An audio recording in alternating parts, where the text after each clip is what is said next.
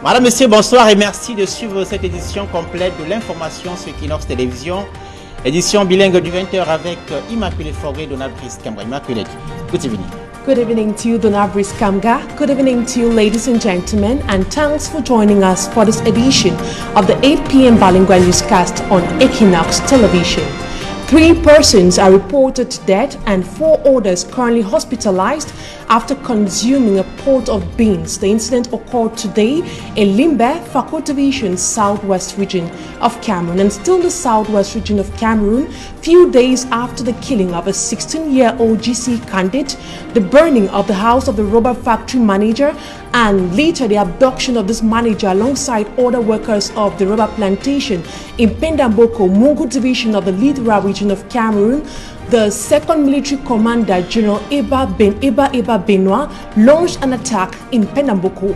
What was discovered in the course of that attack will be explained in this edition of the 8 p.m.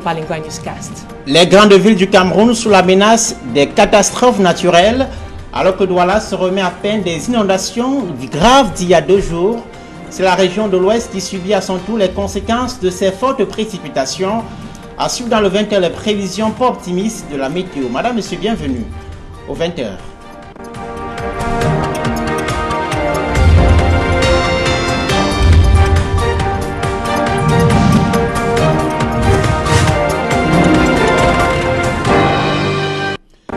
Merci de nous écouter. Les images qui vont suivre sont illustratives du cauchemar dans lequel les inondations de vendredi ont plongé une bonne partie des habitants de Douala. Dans certains quartiers, les habitants se sont réveillés les pieds dans l'eau. Pour certains, ils ont passé la journée de samedi à dégager ces eaux dans leur domicile. Reportage à Douala un jour après ces inondations. Jean-Paul Chouniat.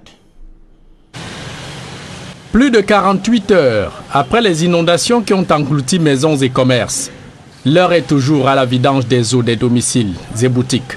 Meubles, appareils électroménagers et marchandises complètement trempés et à la limite irrécupérables. Ça et là, l'heure est au grand ménage sous le coup d'une crise de colère.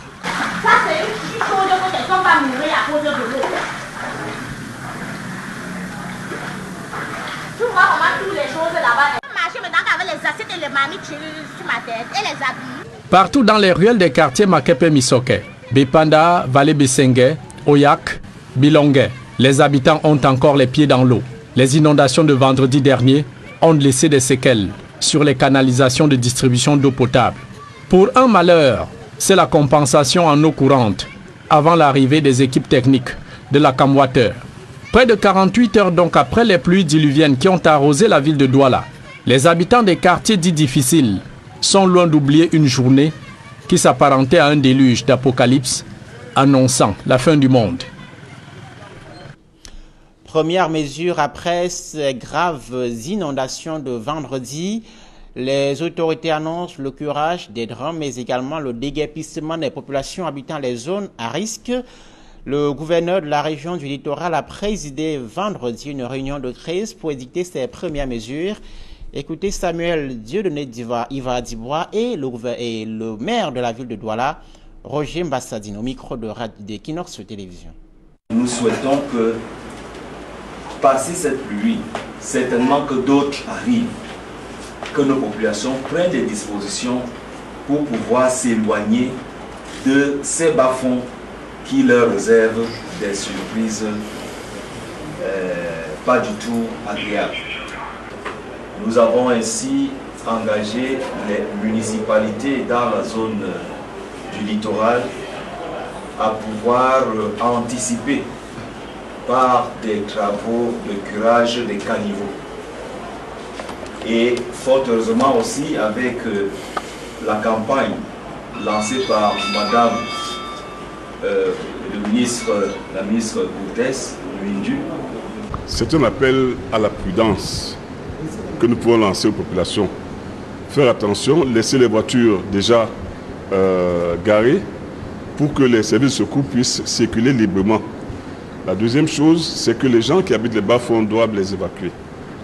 Et euh, la troisième chose, c'est que nous allons intensifier plus que par le passé la libération des drains. Nous avons déjà commencé, mais nous allons accentuer. Mais la, L'arrivée concomitante des deux phénomènes, la forte pluie et la montée de la marée, font qu'on ne peut pas, on peut rien faire. La région du littoral, mais également celle de l'ouest, où les fortes pluies de ces derniers jours ont des effets néfastes sur les infrastructures. Illustration avec la route Bamongo-Melon dans le département euh, de, du Mungo, ici dans la région du littoral, où les fortes pluies ont provoqué une grave érosion de la chaussée, menaçant la sécurité des usagers. Le gouverneur de la région de l'Ouest, Awa vient de prescrire les mesures d'urgence. Le point avec Leclerc Sakem, notre correspondant à Bafoussam. Les pluies diluviennes qui s'abattent dans le littoral Cameroun n'ont pas épargné la localité de Saint-Chou dans le département de la Minois, région de l'ouest Cameroun. Les populations de cette localité sont réveillées samedi, les pieds dans l'eau. Au quartier Manzoko, les biens matériels ont été engloutis dans l'eau, poussant certaines familles à se déplacer.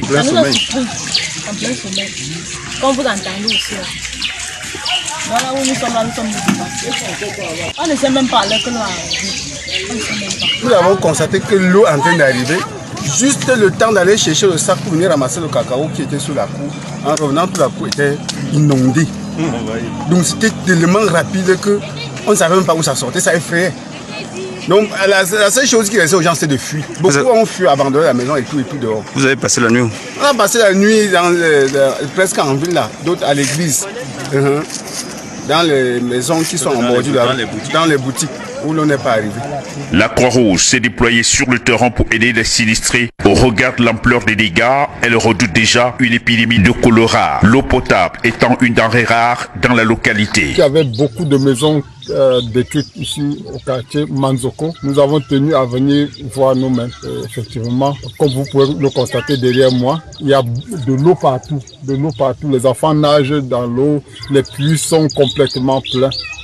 C'est une euh, une situation déplorable. Ce pont, situé à l'entrée de la ville de Saint-Chou, ne tient plus qu'à un fil. Pourtant, les populations locales avaient exprimé leur inquiétude à la municipalité. On signalait aux gens de mairie que le pont là est déjà creusé en bas, jusqu'à un c'est Il faut qu'on signale, on vient arranger à temps. Ils n'avaient pas dit.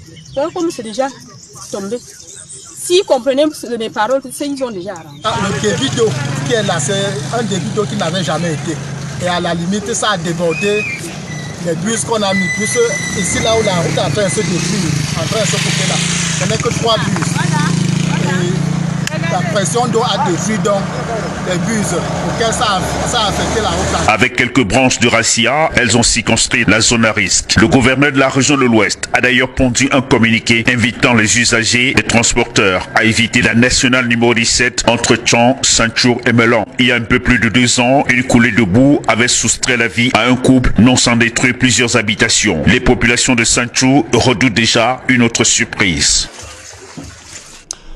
Au-delà de ces actions d'urgence et des initiatives au pied levé après ces graves inondations, avec des conséquences sur les infrastructures locales de vie des populations, c'est la question de la politique urbaine du Cameroun qui se pose. Une politique urbaine qui devrait être adossée sur une réelle volonté de transformer le cadre de vie des populations. Évidemment, cela suppose la fin de l'amateurisme et de la navigation en vue. Analyse Jean-Paul Chouniat. Les inondations qui ont dévasté la ville de Douala durant toute la matinée du vendredi 21 août 2020 soulèvent une vieille problématique à trois questions principales. L'urbanisation de la ville, la gestion des prévisions météorologiques et la construction des voies d'évacuation des eaux de pluie. Tout d'abord, la prévention météorologique. Les services compétents en la matière ont pourtant lancé des alertes depuis des jours sur l'éventualité des fortes pluies qui devraient s'abattre sur la ville de Douala. Seulement, les autorités administratives et municipales, gouverneurs, préfets, sous-préfets, maires de la ville et maires des communes d'arrondissement de Douala n'ont presque pas levé le petit doigt pour appeler les habitants de la capitale économique à se mettre sur le qui-vive en cas de débordement des eaux. Pas un seul communiqué lu ou diffusé dans une chaîne de radio émettant à Douala. Une démission bien actée des pouvoirs publics, les collectivités territoriales décentralisées dans la sensibilisation des populations sur les risques et dangers des inondations. Deuxième maillon faible dans cette question des inondations, le drainage des eaux, Les habitants de Douala y pataugent à chaque saison de pluie quand ils ne se déplacent pas à la nage, comme ça a été le cas ce fameux 21 août 2020.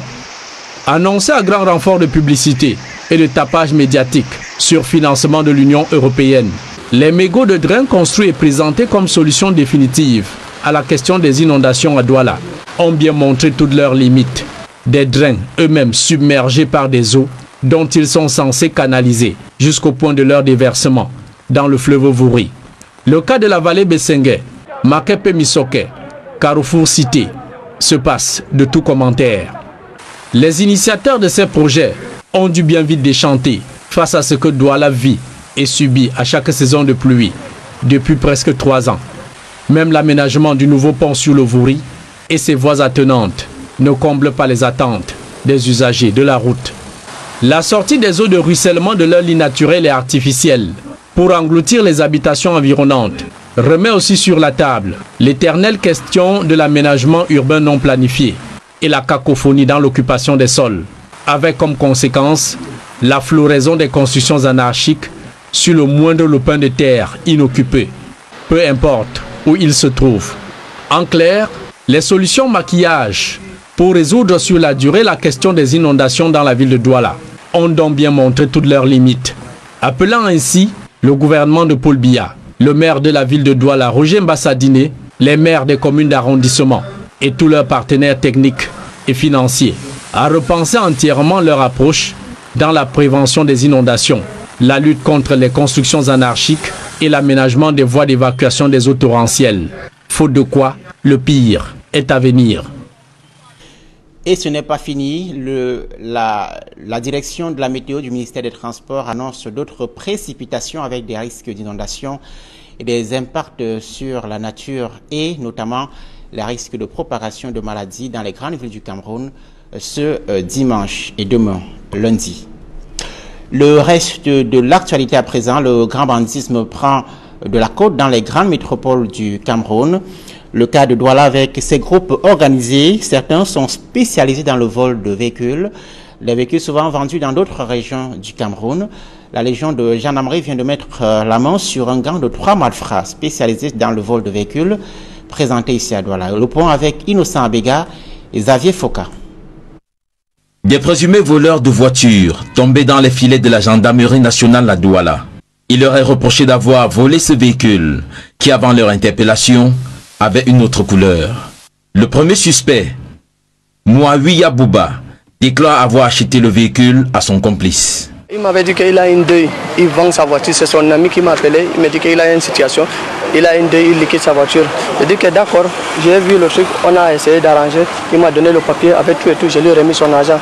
Mais après, à un certain moment, ça a fait presque trois semaines ou combien de semaines, il m'appelle, il m'a dit que c'est une voiture volée. Je lui ai dit que moi, voilà ce que j'ai acheté avec tous les papiers qu'il m'a remis. J'ai amené ça à la brigade, même avec les papiers qu'ils ont vu. Philomène. J'ai acheté la voiture à, 8, à 700 000. On vient d'arranger ça. C'est une vieille voiture que j'ai achetée.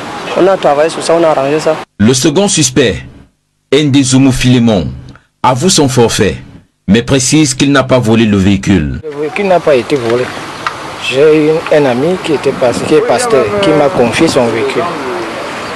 J'ai juste euh, été de mauvaise foi à vendre cette voiture. On ne l'a pas volé. C'est le pasteur même qui me l'avait remis d'aller juste consommer. Et de là, ce qui est arrivé, je l'ai hypothéqué d'abord. Pour, un premier temps, c'était à hypothéquer. L'histoire est partie d'une rencontre entre la victime, ce pasteur, et son bourreau, Ndezumu Philemon, qui se fait passer pour un sergent-chef. Les liens se font lors d'un voyage, grâce au partage de la parole de Dieu. Le lendemain du voyage, le soi-disant sergent-chef amène celui qu'il appelle affectueusement son ami pasteur dans un camp. Et c'est là que l'histoire prend une autre tournure. On me donne quelque chose, je dis ok, permettez donc que je parle là et puis je, je, juste tourner là. Même, tu m'as fait du bien, laisse que je, je te mets que le carburant, j'ai le bon carburant ici. Dès qu'il parle, j'ai le sentiment que quelque chose, j'ai le pressentiment que quelque chose ne va pas. Les événements qui suivent donne pleinement raison au pasteur, la victime. Je commence donc à courir. En arrivant donc à l'entrée, là où il y avait le militaire, je dis, oh, le gars que je suis entré avec lui ici, là, c'est là donc. Du coup, on dit, oh, il t'a frappé. La victime décide donc de passer un coup de fil à son ami. J'ai demandé, j'avais les bons de carburant. Celui-ci lui répond tout de même. Ça, c'est l'histoire entre 17h, 17h30. Jusqu'à 20h30, il me dit, mais je t'ai dit que j'arrive. Tu n'as pas la foi je, je viens. Tu, tu, tu as. Hein? Mais finalement, tu es que pasteur qui n'a pas la foi. J'ai dit, mais tu parles de quoi l'histoire de la foi de, de mon parti jusqu'à présent, tu me parles de la foi L'alerte étant donnée, les éléments de la gendarmerie de la Légion du Littoral lancent des investigations. Tous deux repris de justice. Les complices seront interpellés main dans le sac, en possession du véhicule de marque Toyota Yaris, vendu dans la ville de Bertois. Rappelons que ces deux suspects font déjà l'objet de quatre procédures pendantes devant les juridictions de Douala. Cette autre affaire vient ainsi compliquer leur dossier, déjà assez sale. Ce devoir de mémoire dans ce journal avait la commémoration ce 23 août de la journée mondiale du souvenir de l'abolition de la traite négrière, l'un des plus grands crimes de l'humanité survenu au, 10, au 15e siècle. Les précisions de Guy Zobo à Yaoundé. C'est une image originale des femmes battant des tam-tams avec maestria.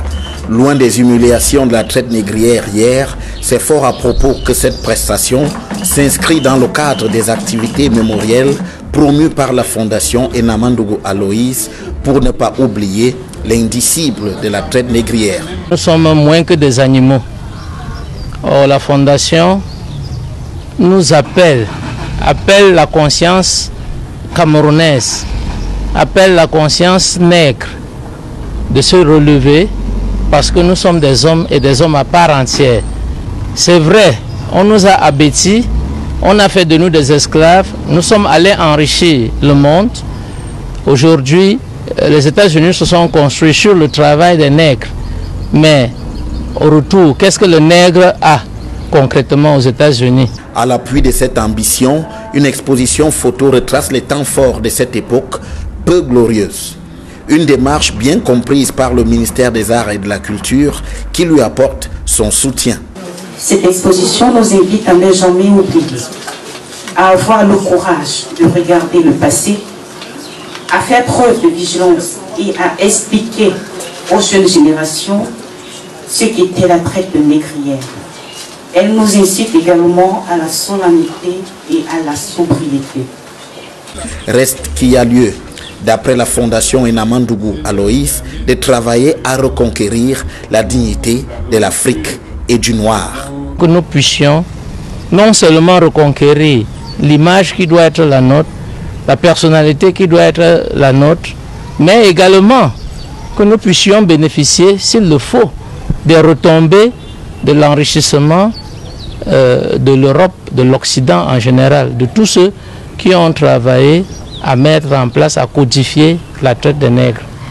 Dans cette entreprise, il faut souligner la présence remarquée du cercle d'histoire-géographie et archéologie de l'université de Yaoundé 1.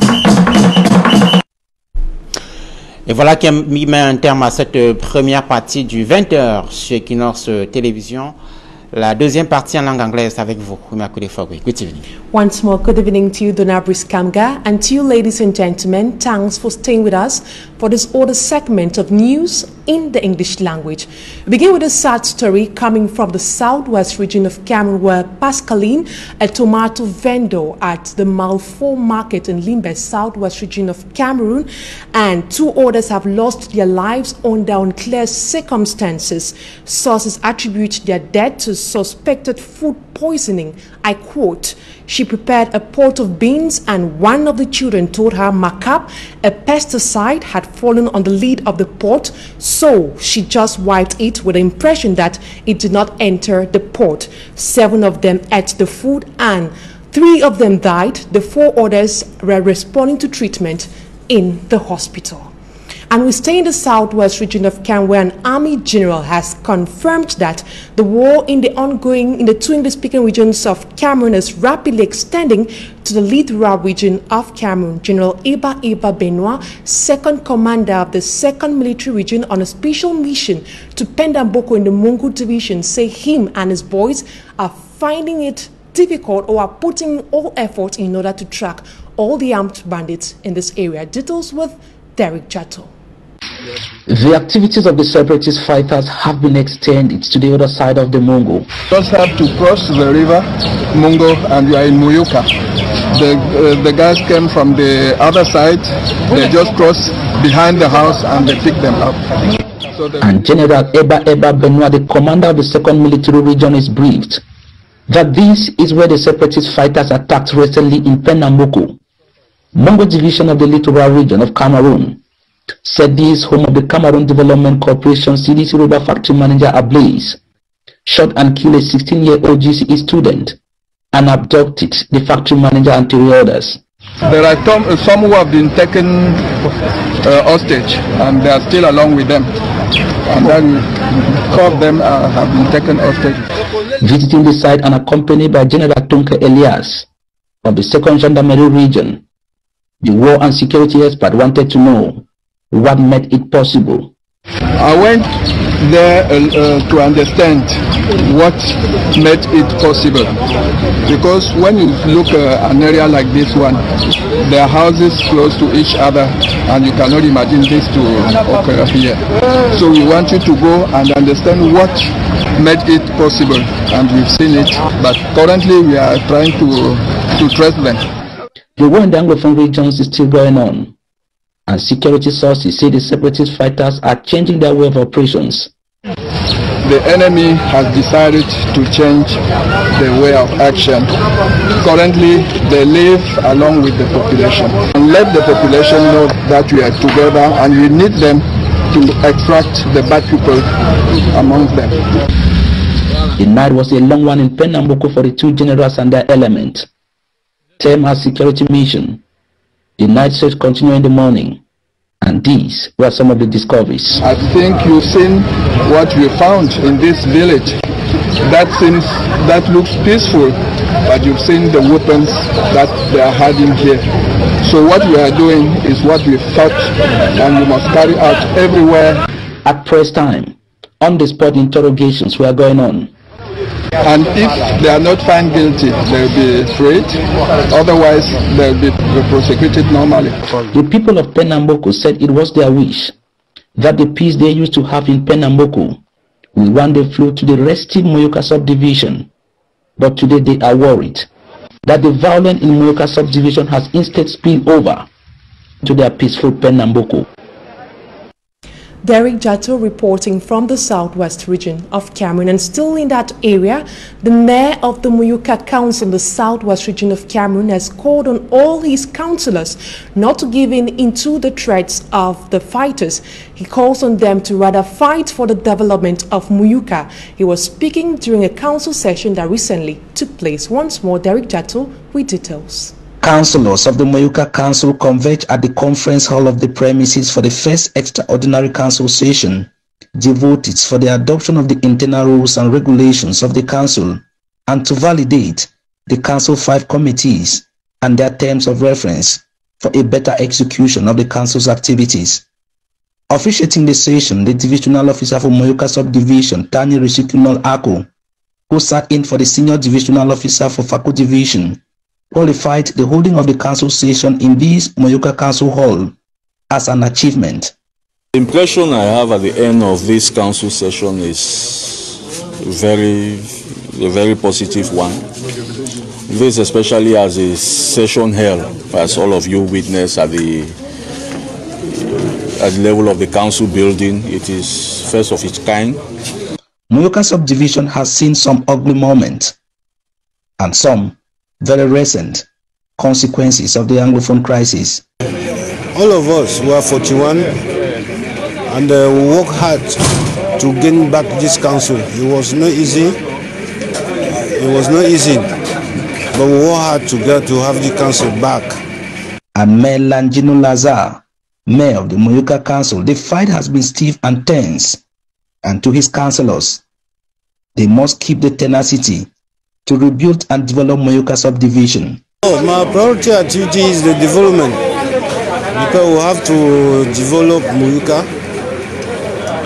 We have to develop Moyoka so that in the next five years Moyoka, should, Moyoka will have a changes. The people here, primarily farmers, have lost almost everything to the Anglophone war. which is still on. And we now take you to Chomba in the Bamenda 2 subdivision where inhabitants of this area narrate their ordeals. According to these inhabitants, the recent outbreak of the coronavirus pandemic in the country has made life extremely difficult for them. Postella tells us more about the ordeals of the population. Mama Elizabeth Asambangno recounts how she lost her son in Chomba, a village in Bamenda subdivision of the Northwest region. One day my pikin woke up to go for school. Some boys are just arising. They take a put down for me the Okada. Then want they want take a go with them uh, army. Then they shoot the pikin. They be one defender for the pikin. Then they pass shooting at the pikin. So the pikin just died for the very spot. Some people caught in crossfire have died while others have been maimed for life. Surviving each day in this part of Cameroon is a daily struggle. We have gone through hell in the village, running from one quarter, from one uh, compound to another, moving from one hill to another because each time there is something to happen, that there is something that is going to happen, we, we always concert together and see how we can hide ourselves. I left here, I went to town. I have been in town for some months. It was terrible in town. We left for Yaoundé, stayed there in Yaoundé. Children are always sick up and down. The hospital, one thing, food difficult, houses expensive. I left, I came to Bafusam. It was not also difficult. It was not very easy with me there. I left from Bafusam. I came back to Bamenda. Adding to the four years running armed conflict is the coronavirus pandemic, making high the demand for support, especially food. During this period of war, some of we will be really, will be really hungry because if you go farm freely, the farm they all grow inside bush. So, so because of fear, most people abandon their farms. Chamba sons and daughters residing in the United States of America have under the Village Development and Cultural Association come to the aid of the villagers back home. In all, we gave them about 3,000 liters of uh, palm oil, 3,000 kilograms of uh, beans, uh, 3,000 kilograms of uh, rice, and about 600 kilos of sabon. That's just to see how we support this uh, rural population. The gifts by the Village Development Association were distributed at the premises of the Chamba Palace to some 600 families by the Youth Outreach Program. I'm very happy for the children with the same medicine. Because it will make we, we improve with the conditions now. I will receive my rice, my oil. Well, and I myself am a handicapped somebody. So I'm very happy, very happy to receive all those things. This man, speaking in the local language, is thanking the donors for reaching out to them back home.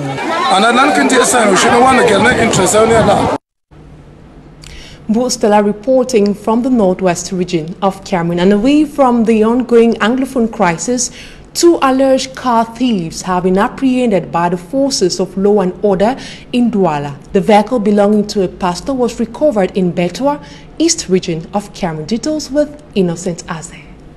Muhawiya Buba, 27 years old, and 36 years old, and Zumu Philemon are accused of stealing this blue Toyota Yaris vehicle belonging to a man of God.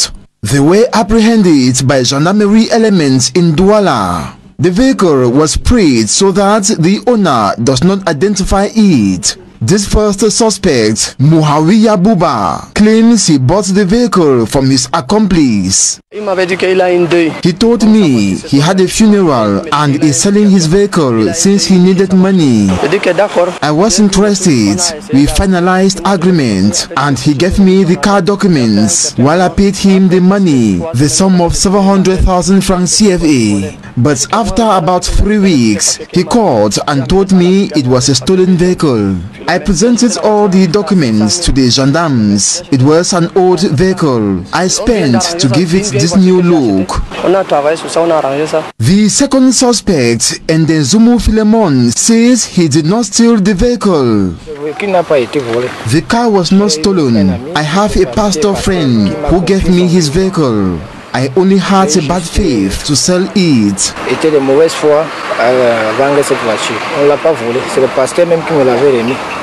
D'aller juste consommer.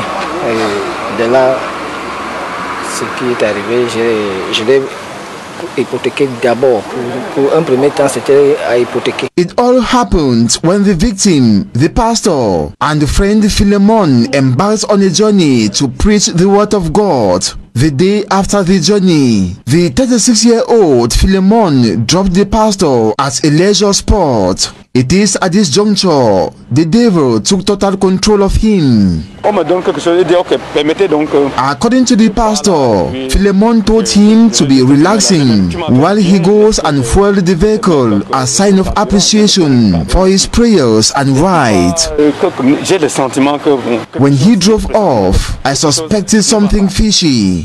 I started running after him. When I arrived at the entrance where some security forces were, I tried to explain and they said I have been duped.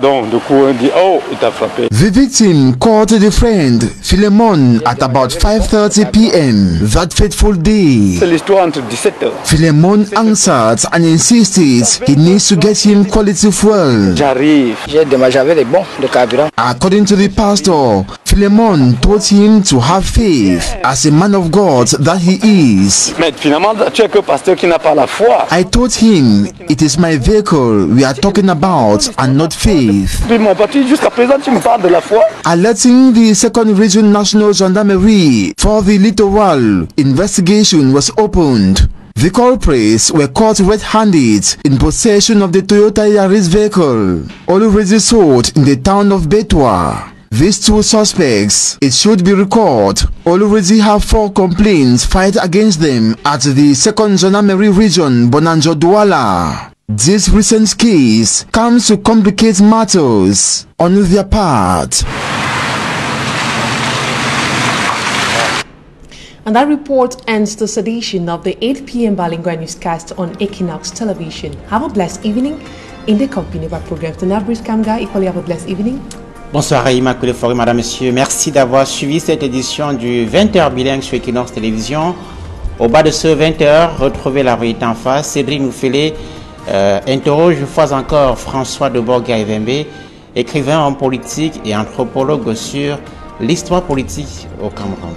Restez sur Equinox.